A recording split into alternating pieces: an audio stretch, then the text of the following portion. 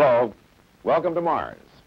Not the planet, but a globe-spanning communications network that you probably haven't heard much about. We're in the headquarters station of that network, right here in the concourse of the Pentagon in Washington, D.C. MARS stands for Military Affiliate Radio System, and it's quite a system. As its name says, it's a military network, but it's manned on a voluntary basis by civilian amateurs, hams as they call themselves. More than 6,000 amateur stations plus service-operated Mars stations at Army, Navy, and Air Force installations all over the world make up the network. Its purpose is to promote interest and to provide training in military communications procedures and equipment, and to provide a network of thousands of stations to serve as an emergency communications backup if conventional communication should be disrupted. Worldwide Army participation is supervised by Army Chief of Communications Electronics.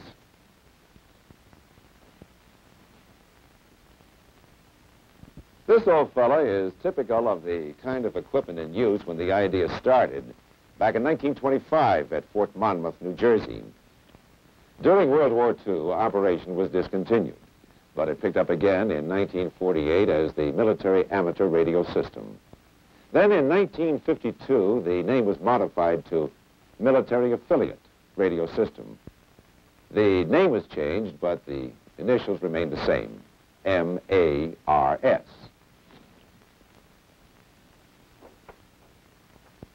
There's an interesting story connected with this picture. This amateur rig in the Tokyo home of a Signal Corps captain named Joseph Ziglinski was General MacArthur's only communications link with Korea at the beginning of the Korean War.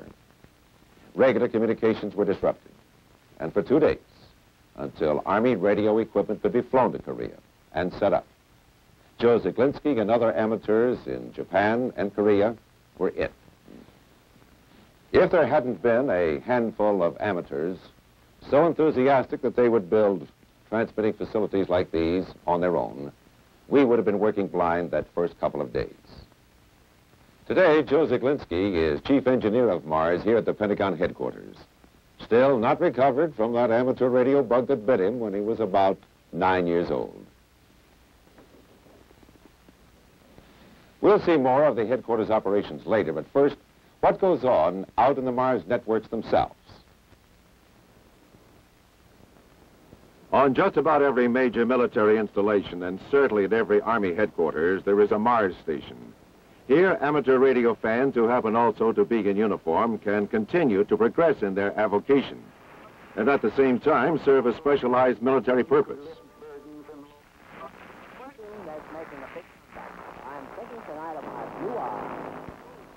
Servicemen operating a military Mars station learn not only military communications procedures and methods, but they get into all phases of repair, maintenance, and modification as their time permits.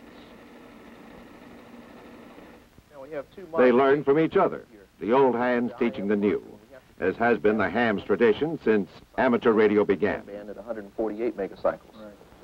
You see, this module has already been modified. See where these two capacitors have been added? At regular intervals, the civilian affiliates of Mars receive on-the-air training in communications techniques, procedures, and equipment to enable them to function better as part of an emergency backup communications network should the need arise. Alpha 4 Uniform Sierra Alpha, slant Alpha. Alpha 4 Uniform Sierra In the ham tradition, these sessions are as informal as they are informative. Good evening, fellows. This is Wade Nelms, the director of the 3rd United States Army Mars, talking to you over radio station A4USA, located at Fort McPherson, Georgia. I have a little bad news for you tonight. Mr. White, who is your regular lecturer and has Been talking to you about solid state devices, has the flu, and he can't talk, so I'm going to have to pinch hit for him tonight.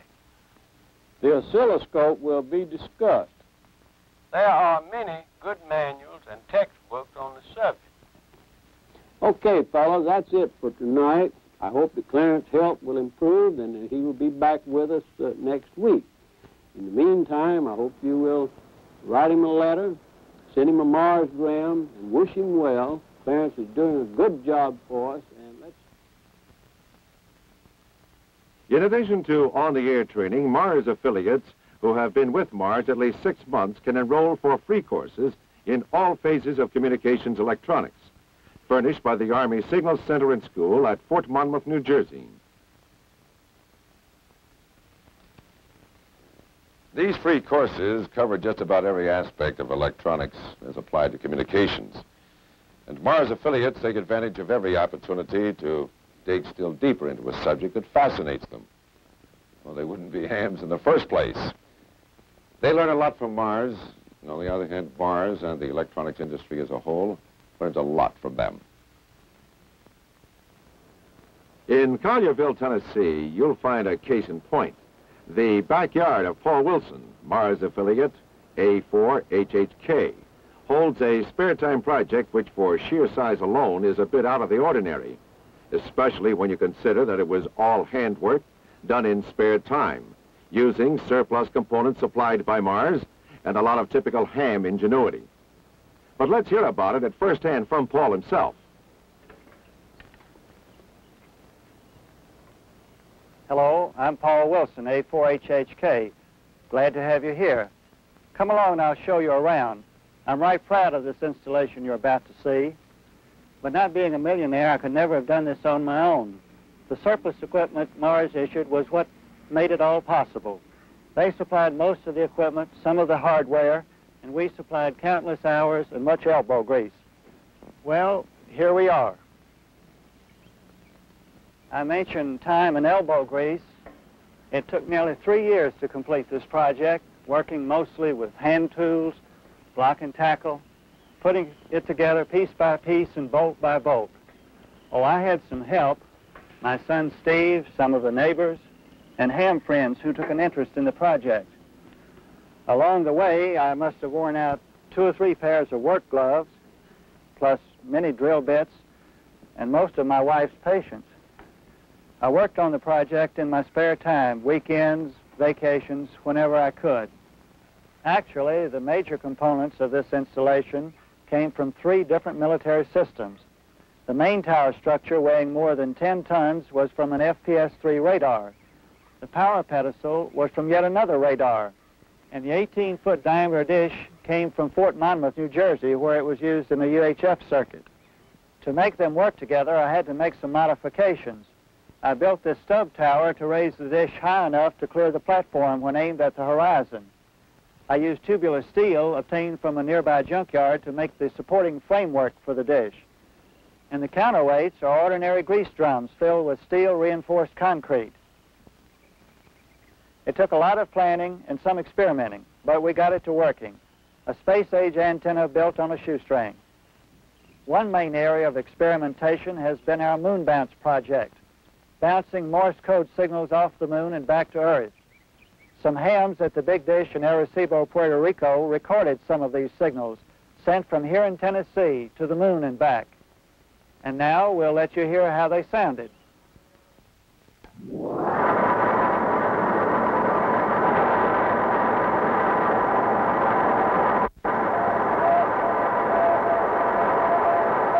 That rushing sound in the background is just the noise of deep space. Using only 300 watts of power, the signal was traveling nearly half a million miles through space at the speed of light. We've also run other experiments, such as making communications through amateur satellites carried into Earth orbit as ballast aboard military rockets, making daily measurements of solar radiation, and tropospheric scatter transmissions over the horizon right here on Earth. In most of these, I'm working with Mars members. And since communication is a two-way street, it's always team effort. All of this experimentation is in terms of VHF and UHF, the very high frequencies and ultra-high frequencies, where there is as much to learn today as there was years ago when ham experimenters opened up new horizons with shortwave transmissions. We hope to find some answers and make some contributions too. Meanwhile, we're proud to be part of the Mars network that stands ready to provide backup communications for our country anytime the need arises. Paul Wilson is one outstanding example of the dedication that Mars affiliates give to experimental and developmental projects. Oh, I could give you dozens more. New designs for antennas. Modifications of existing equipment. All done in the members' spare time. And often at considerable expense to themselves. And it is all aimed at improving communications.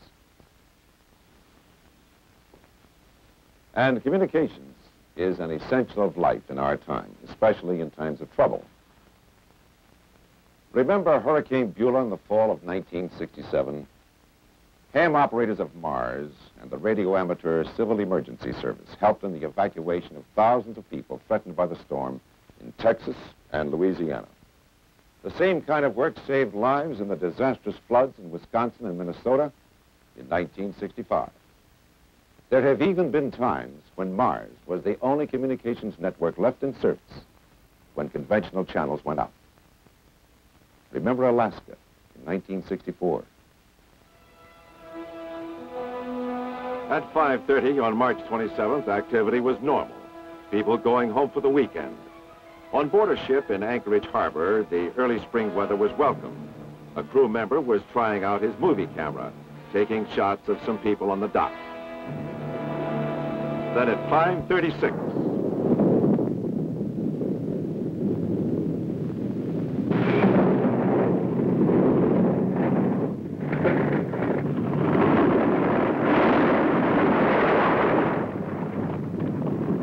On the ship, the horrified seamen took this shot as a huge chasm opened in the floor of the harbor and the water emptied into it like some nightmare waterfall.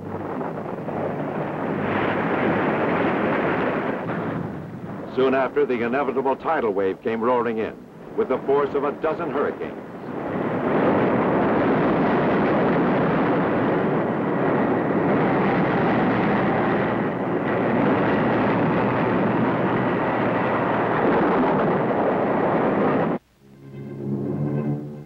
The normal communications lines were completely knocked out. Yet now and here was the time the communications were most vital. To know where damage was worst, to know where help was needed most, and what kind and how much. Amateur operators went into action. They used rigs in their cars and trucks and in their homes, around the clock. Sleep was forgotten as the news of damage and of refugees filtered into and through the network set up by the ham operators of the 49th state. Newly homeless hundreds were told where to find shelter and food. And the air was full of messages, lists of the safe and the missing, requests for aid and instructions on how to deliver it. Before regular communications were restored, more than 10,000 emergency messages had to be handled by Mars civilian and military operators, proving once again the importance of a backup communications network when disaster strikes. Such is the nature of shortwave transmission that a lot of these disaster messages from Alaska to the continental United States were relayed through Mars stations in Hawaii. And the gist of all the action funneled through this station, headquarters. This station is a central clearing point for thousands of messages each week. Many of them are personal messages from service people to their families. For in addition to its role as an emergency network, Mars serves as a massive handler of personal communications through its amateur operators both in and out of uniform all over the world.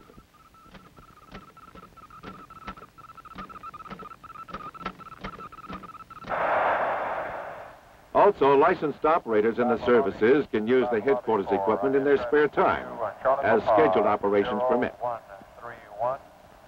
Most of the communications traffic handled through here is in printed messages. But it's not unusual for a soldier in Vietnam to talk with his family here in the States by a combination of radio and telephone, known as the phone patch. This phone patching is something you have probably heard about. The volume of calls from Vietnam has skyrocketed to several hundred thousand a year through the Mars facilities. And the story of that operation is a remarkable one. This is a Mars station in Vietnam. Not too long ago, there were none.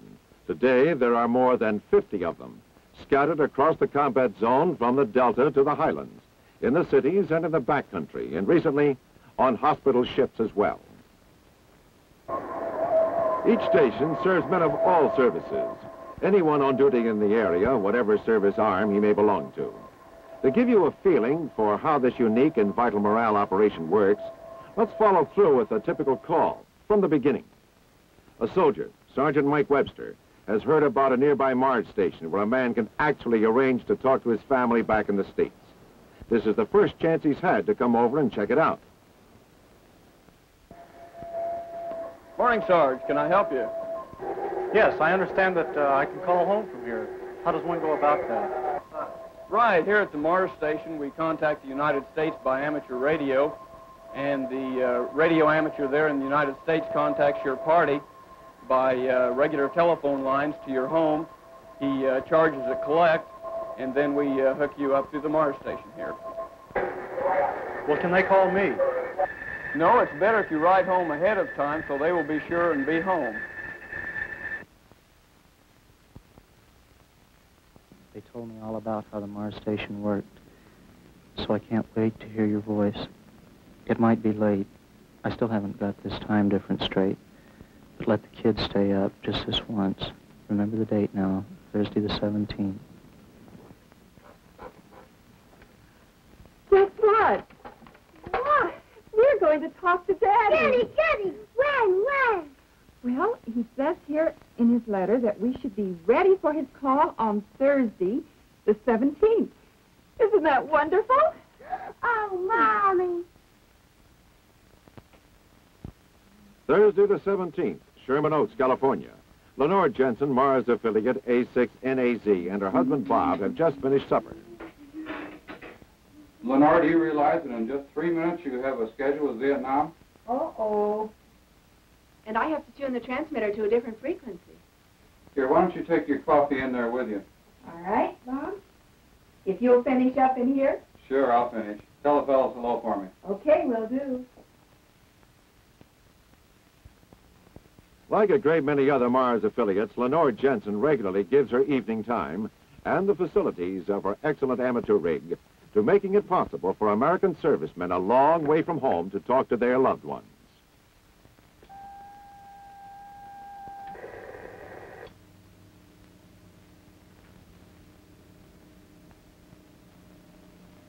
A long way in this case means just about exactly halfway around the world, some 10,000 miles, as the short wave flies.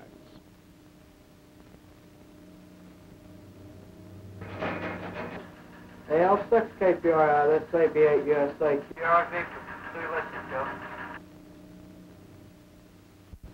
Alpha Bravo 8 Alpha Charlie, Alpha Bravo 8 Alpha Charlie. This is Alpha 6 November Alpha Zulu. Do you read? Over. Roger. Lima Charlie, loud and clear. Over. You're good here, too. Good signal. Nice sunny morning over there. Over. Hot. The moon out back in the world? Over. Yes, it is. How many listings do you have waiting? Over. As many as you have time to run. Over. Okay. Read me the first three. AL6 KPR, that's AB8 USA. Roger, Roger. The first listing is going uh, person to person. It's typical of all the volunteer operators that they think nothing of giving of their time, their money, and themselves in this way. As they say, it's what they like to do. It's going to San Diego, California. Calling Mark. Person is a Sergeant Mike Webster. The last name is spelled Whiskey, Echo, Bravo, Sierra, Tango, Echo, Romeo. For Mike Webster and his family, the big moment is about to arrive. Morning, gentlemen. As you're making your calls this morning, please remember that the phone patch is not secure. Do not discuss any classified information, any troop movements, any troop strength, or any troop locations. Also, please do not mention any casualty information and do not use any profanity. Sergeant Webster, would you please step in at phone booth number two? Uh, we are getting your party on the line now.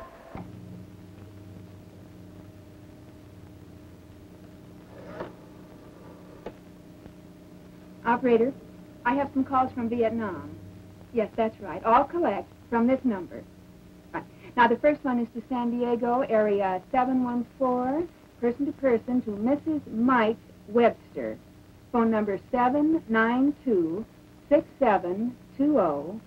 and the calling party is Mike Webster.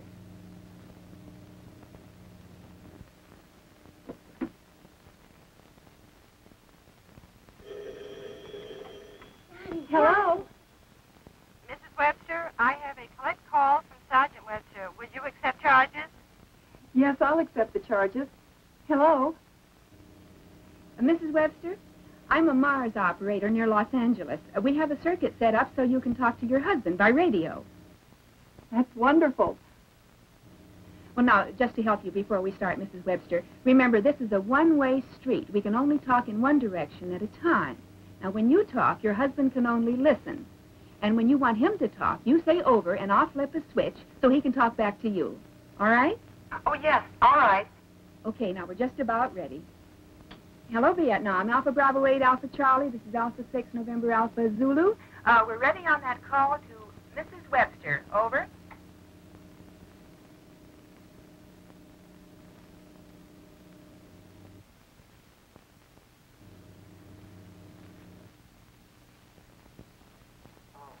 Hello, love. This is Mike. So good to hear from you. How are you? Over. Oh, this is just wonderful. Mike, well, it's just wonderful to hear your voice. Over. It's great to hear you, too. How are the kids? Over. They're fine. They're right here by me, and they're just fine. We had Bonnie's birthday party last week. Would you believe seven years old? Over. Oh, I wish I could have been there. Can I talk to her for a moment? Over. Here she is. Hello, Daddy. This is me. Over. Say, how's my girl? It's just wonderful. Seven years old. Say, did you get my present? Over. I got the doll, and she's beautiful. Her name is Allison. Over. Allison. That's a very pretty name. Allison Webster. I like that. Over. No, not Allison Webster. Alice in Wonderland. Over. well, that's a pretty name, too. Look, honey, I just got a couple more minutes, so let me talk to Mama. Okay. Over. Mike, Junior's here too, dear. He'd like to just say hello. Over. Hi, Mike. How's my boy? Over. Hi, Daddy. I'm fine. Are you in the war? Over. Not too much, son. Don't you worry. I'm fine. And I'll see you in about two months. It'll be before you know it, okay? Over. Okay. Bye. Over. Gee, they sounded great. I want to see you all so much. And it won't be long now either. Thank goodness for that. We're counting the days. Let me know as soon as you know. Over. Well, I'll write you about it. And I'll write a little better than I have lately, okay? And I'll call you next month again. Over. Wonderful. Meantime, you know you're in our prayers every night. Over. Yes, I know. Look, love, our time's up. I'll write you more often, and you give the kids a big hug for me, okay? Over. I will. And thanks to Everybody who had anything to do with making this possible. It just meant so much. Over. Yes, and that goes double for me. Well, look, I've got to get off. There's several other fellows waiting in line, and I'll see you as soon as I can, sweetest. Goodbye, love. Over. See you soon. Goodbye, my darling.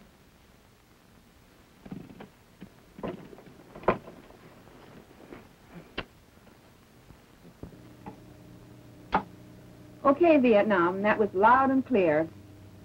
Now, stand by for Mrs. John Carter in San Francisco. This operation is no small factor in the high level of morale among American service people in Vietnam. And United States commanders recognize this.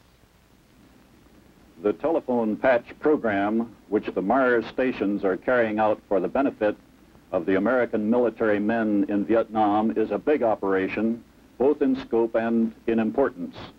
As you have heard, some 50 stations are now operating in Vietnam, and additional stations have recently been installed aboard the hospital ships, Repose and Sanctuary, to enable patients there to talk directly to their homes. It is an opportunity deeply appreciated by our fighting men to talk even briefly to loved ones 10,000 miles away. The voluntary work of the 6,200 civilian affiliates of Mars in the United States and of all of the Mars operators in uniform is truly a labor of love. Despite every difficulty, weather problems, and time zone differentials involved in talking halfway around the globe, to date, literally hundreds of thousands of such calls have gone through, as have hundreds of thousands of personal printed messages as well. So I welcome this opportunity to express sincere thanks in behalf of all those who have benefited in the past and those who will benefit in the future for the work of all, civilian and military alike, who participate in the highly effective Mars operation. This, as we said, is the hub, the headquarters station. But the web of intangible energy which animates the Mars network reaches around the planet. Its objective is service and discovery. Its mission is to stand ready to function at a moment's notice, providing backup communications in any emergency. Its people, all of them, in uniform or out, are enthusiasts. People caught up in the benign magic of radio communications. Hams. Wherever you are, their messages are flicking through the air around you at the speed of light. The air is full of voices. All you need is the proper equipment to tune them in. And today, more than ever before, a great many of those voices belong to the people of the military affiliate radio system. Mark.